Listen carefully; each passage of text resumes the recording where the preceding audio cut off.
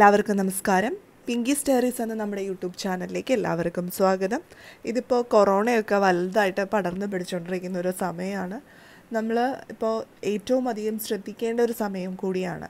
Government lockdown പ്രഖ്യാപിച്ചിട്ടുണ്ട്. അപ്പോൾ അതനുസരിച്ച് ഗവൺമെന്റിന്റെ നിർദ്ദേശങ്ങളനുസരിച്ച് നമ്മളെല്ലാവരും വീടിനുള്ളിൽ തന്നെ കഴിയേണ്ടതാണ്. വീടിന്റെ ആ ഒരു ലക്ഷ്മണരേഖ കടന്ന് പുറത്തേക്ക് പോവാതിരിക്കാനായിട്ട് എല്ലാവരും മാക്സിമം ശ്രമിക്കുക.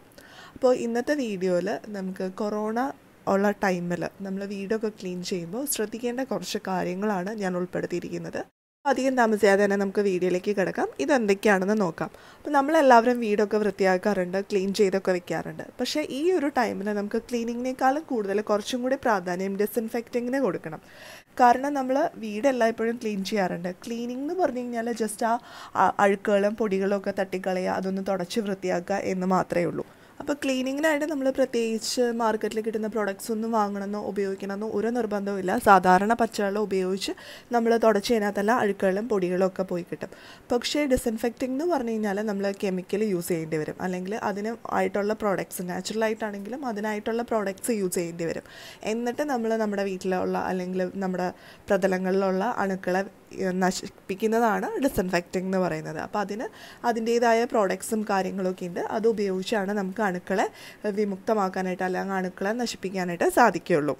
അപ്പോൾ നമ്മൾ എല്ലാ ദിവസവും തന്നെ വീട് വൃത്തിയാക്കുന്നതിന് മുന്നായിട്ട് എല്ലാ ദിവസവും രാവിലെ എഴുന്നേറ്റാൽ ഉടനെ നമ്മുടെ ജനലും ഒക്കെ മാക്സിമം തുറന്നിടുക അതുപോലെ തന്നെ കർട്ടൻ വിരികളൊക്കെ നീക്കി മാക്സിമം വായുസഞ്ചാരം അതുപോലെ സൂര്യപ്രകാശമൊക്കെ നമ്മുടെ വീടിനുള്ളിലേക്ക് കയറാനായിട്ട് അനുവദിച്ചു കൊടുക്കണം. എന്നാലേ ഒരു എയർ സർക്കുലേഷൻ ഉണ്ടാവുള്ളൂ. അപ്പോൾ നമ്മുടെ വീടിന് എപ്പോഴും നല്ലൊരു ഫ്രഷ്നെസ് കിട്ടാനത് ഹെൽപ്പും ചെയ്യും.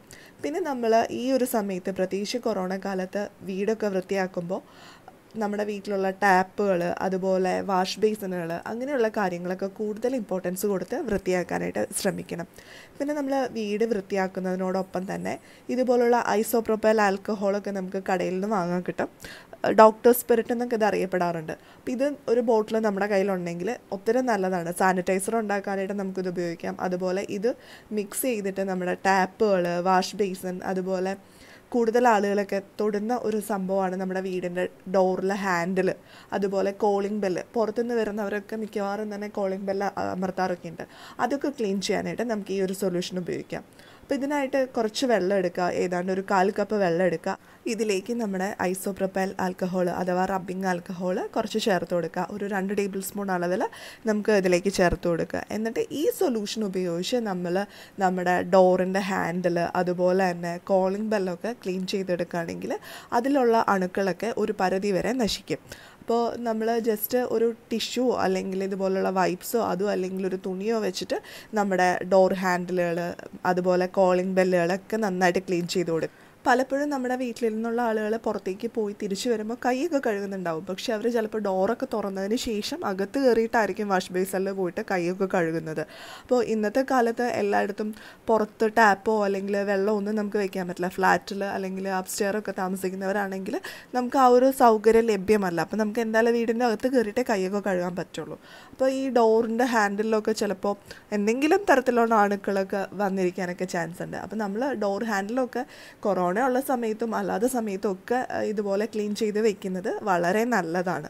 അതുപോലെ തന്നെയാണ് ഈ കോളിംഗ് ബെല്ല് കോളിംഗ് ബെല്ലും നമ്മളൊന്ന് ക്ലീൻ ചെയ്തൊക്കെ വെക്കുന്നത് ഒത്തിരി നല്ലതാണ്. അതിലും എന്തെങ്കിലും അണുക്കളും കാര്യങ്ങളും ഒക്കെ ഇരിക്കുന്നുണ്ടെങ്കിൽ അതൊക്കെ പോയി കിട്ടും.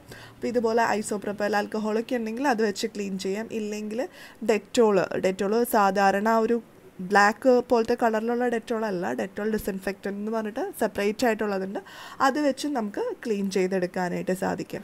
പിന്നെ കോളിംഗ് ബെല്ലൊക്കെ ക്ലീൻ ചെയ്തെടുക്കുമ്പോൾ കുറച്ച് കെയർഫുള്ളായിട്ട് ക്ലീൻ ചെയ്യണം. കാരണം നമ്മൾ വെള്ളമായിട്ട് മിക്സ് ചെയ്തിട്ടാണ് അത് ക്ലീൻ ചെയ്യാനായിട്ട് ഉപയോഗിക്കുന്നത്. അപ്പോൾ ഷോക്ക് അടിക്കാതിരിക്കാനൊക്കെ ആയിട്ട് പ്രത്യേകം ശ്രദ്ധിക്കുക. അപ്പം ഞാൻ പറഞ്ഞു എന്ന് പറഞ്ഞിട്ട് ഓടിപ്പോയി വെള്ളമൊക്കെ മിക്സ് ചെയ്ത് ക്ലീൻ ചെയ്ത് ഷോക്കൊന്നും അടിക്കരുത്. ശ്രദ്ധിച്ച് വേണം ക്ലീൻ ചെയ്യാനായിട്ട്.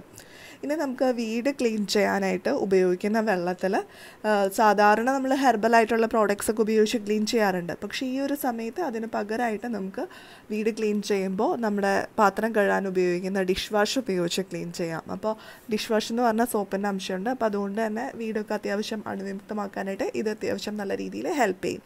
ഇനി അതും അല്ലെങ്കിൽ നമുക്ക് ക്ലീൻ ചെയ്യാനായിട്ട് ഉപയോഗിക്കാൻ പറ്റുന്ന നല്ലൊരു സാധനമാണ് നമ്മുടെ സ്വന്തം ബേക്കിംഗ് സോഡ. ബേക്കിംഗ് സോഡ ഉപയോഗിച്ച് നമുക്ക് വീട് ക്ലീൻ ചെയ്തെടുക്കാം. അപ്പോൾ ഒരു മൂന്ന് നാല് ലിറ്റർ വെള്ളത്തിൽ ഒരു നാല് ടേബിൾ സ്പൂൺ അളവിൽ ബേക്കിംഗ് സോഡ മിക്സ് ചെയ്യുക. എന്നിട്ട് അത് ഉപയോഗിച്ച് നമുക്ക് വീട് ക്ലീൻ ചെയ്യാം. അതും അല്ലെങ്കിൽ നമുക്ക് ഏറ്റവും നല്ല രീതിയിൽ വീട് ഡിസിൻഫെക്റ്റ് ചെയ്യാനായിട്ട് ഉപയോഗിക്കാൻ പറ്റുന്ന ഒന്നാണ് ബ്ലീച്ചിങ് പൗഡർ. ബ്ലീച്ചിങ് പൗഡർ ഒരു നാല് ലിറ്റർ വെള്ളത്തിൽ ഒരു രണ്ട് ടേബിൾ സ്പൂൺ അല്ലെങ്കിൽ മൂന്ന് ടേബിൾ സ്പൂൺ അളവിൽ മിക്സ് ചെയ്യുക. അതിനുശേഷം അത് ഉപയോഗിച്ച് നമ്മൾ വീട് തുടക്കുകയാണെങ്കിൽ വീട്ടിലുള്ള അണുക്കളൊക്കെ നശിച്ചു പോകും. അപ്പോൾ ഒരു നാല് ലിറ്റർ വെള്ളത്തിന് മൂന്ന് ടേബിൾ സ്പൂൺ അല്ലെങ്കിൽ ഒരു രണ്ട് ടേബിൾ സ്പൂൺ ആ ഒരു കണക്കിൽ വേണം ബ്ലീച്ചിങ് പൗഡർ മിക്സ് ചെയ്യാനായിട്ട്. പിന്നെ ബ്ലീച്ചിങ് പൗഡർ ചേർക്കുന്ന വെള്ളത്തിൽ നമ്മൾ എക്സ്ട്രാ വേറെ ലിക്വിഡ് ഒന്നും ചേർക്കരുത്. കെമിക്കൽ റിയാക്ഷൻ ഉണ്ടാവും. ബ്ലീച്ചിങ് പൗഡർ മാത്രം ഉപയോഗിച്ചാൽ മതി. വേറെ നമ്മൾ സാധാരണ ക്ലീൻ ചെയ്യാൻ ഉപയോഗിക്കുന്ന ഫ്ലോർ ക്ലീനറുകളൊന്നും മിക്സ് ചെയ്യേണ്ട കാര്യമില്ല. ബ്ലീച്ചിങ് പൗഡറാണ് നിങ്ങൾ ഉപയോഗിക്കുന്നതെങ്കിൽ.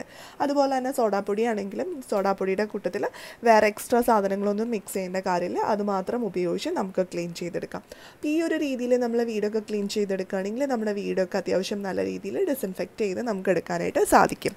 പിന്നെ ഈ ഒരു സമയത്ത് നമ്മൾ നമ്മുടെ ഫാമിലി എപ്പോഴും കൂടെയുള്ളൊരു ടൈമാണ് അപ്പോൾ ഒരുപാട് പാനിക് ആവാതെ അല്ലെങ്കിൽ ഒരുപാട് പേടിക്കാതെ ജാഗ്രതയോടെ കാര്യങ്ങൾ കൈകാര്യം ചെയ്യാനായിട്ട് ശ്രമിക്കുക. പിന്നെ ഫാമിലി ഒരുമിച്ച് കിട്ടുന്ന നല്ലൊരു സമയമാണ് ഇതുപോലുള്ളൊരു അവസരം നമുക്ക് എപ്പോഴും ഒന്നും കിട്ടില്ല. അപ്പോൾ ആ അവസരം മാക്സിമം വിനിയോഗിക്കുക. നമ്മുടെ വീട്ടിലുള്ളവരായിട്ട് കൂടുതൽ സംസാരിക്കാനും കൂടുതൽ കാര്യങ്ങൾ ചെയ്യാനും അതുപോലെ വീട്ടിലുള്ളവർ പരസ്പരം ജോലികളൊക്കെ പങ്കുവെച്ച് ചെയ്യാനൊക്കെയുള്ള ഒരു അവസരമായിട്ട് കാണുക. ക്ലീനിങ് സ്ത്രീകളുടെ മാത്രം ഉത്തരവാദിത്തമല്ല. അത് പുരുഷന്മാർക്കും ചെയ്യാം എന്നുള്ള രീതിയിൽ പുരുഷന്മാരും ഈ ഒരു ജോലിയൊക്കെ ഏറ്റെടുത്ത് ചെയ്യാനായിട്ടും ശ്രമിക്കുക. അപ്പോൾ എല്ലാവരും സുരക്ഷിതരായിട്ടിരിക്കുക വീട്ടിൽ തന്നെ ഇരിക്കുക. ഇനി അടുത്ത ദിവസം നമുക്ക് പുതിയൊരു വീഡിയോ ആയിട്ട് വീണ്ടും കാണാം.